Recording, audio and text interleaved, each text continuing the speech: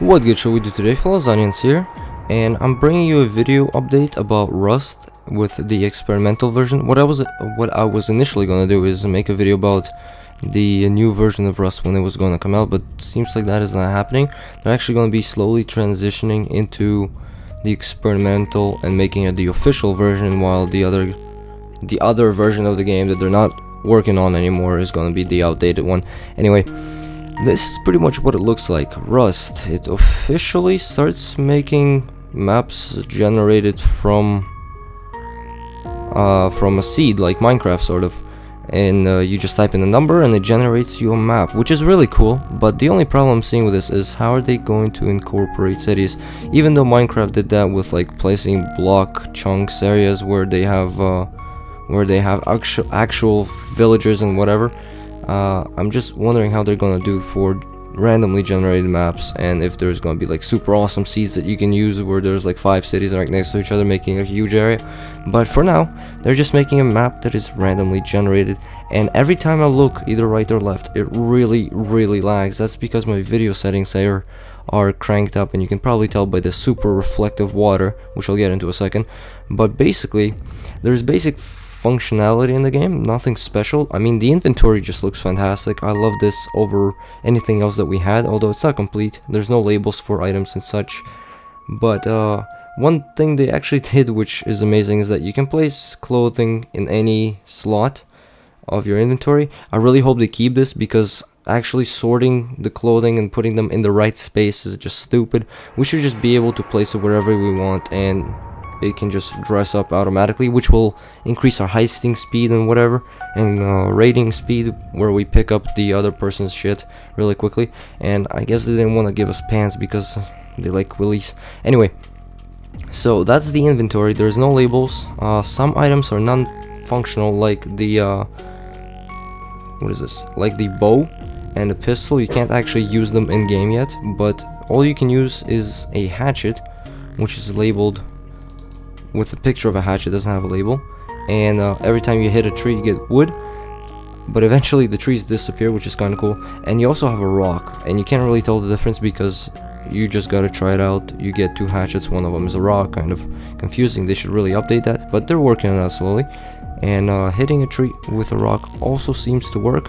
It's just that the server is really really lagging. You can see the delay between the item appearing in my inventory and such and the chat actually works so that's that's something. They're slowly updating it and like I said every time I turn this way it lags like crazy so just start facing the water again. And once you oh nope gotta go back. Not very professional of me making a laggy video but you get the point. You shouldn't be switching to experimental if you still want to play rust. And uh, there's the tree it's gone. So if you hit the tree enough times it will disappear and uh, that's that for game functionality. That's pretty much it. There's uh, actually rocks spawning and wood but they both of those items actually give you wood so rocks not really doing much. And the water it's just glorious. But before we go into the water you can actually place items on top of each other and if that lag disappears from the server oh there we go. Yeah that was really laggy. I'm pretty sure I only placed one fireplace and it placed two. Oh no that was just in my imagination apparently. Servers tell me wrong. Uh, if this would place there we go. Oh okay that's not right. There's three fireplaces now. Like I said experimental version not recommending switching to it. Uh, but campfires actually work. Let me demonstrate this for you. Uh, it actually cooks the chicken. Um, why is there an option to ignite? There we go. If that would ignite there we go and if we open the campfire, oh my god, this is really bad. The, you know what? I'll, I'll come back to this. Like I said, the campfire is functional. The chicken actually cooks. It's just that you can't eat the chicken is the only problem.